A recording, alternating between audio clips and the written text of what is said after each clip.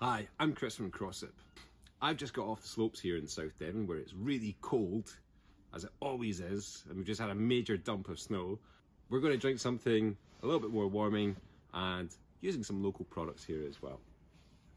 First, of course, we're going to start off with Crossip Rich Berry. This is full of all those beautiful, rich lashings of blackberries and sour cherry and cinnamon and cloves. And we're going to go for a full shot of that in there too.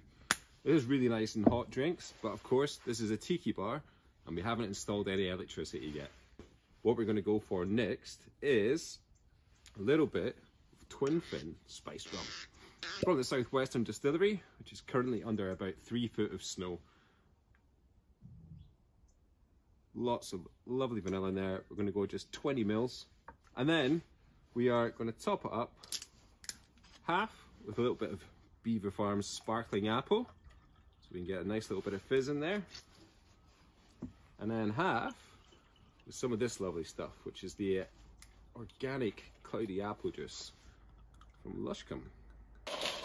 Last bits to do, because this really is that simple, is we're just going to top it up, a little bit of ice,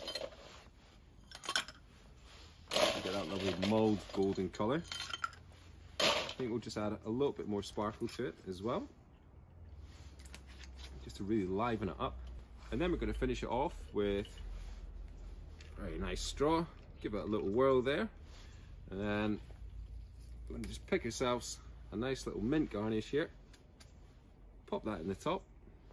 And then just a couple of lovely berries in the top there to finish it off. And there we have it the sunny slopes of South Devon. Cheers. Oh, oh that's really good. Ah, super Moreish.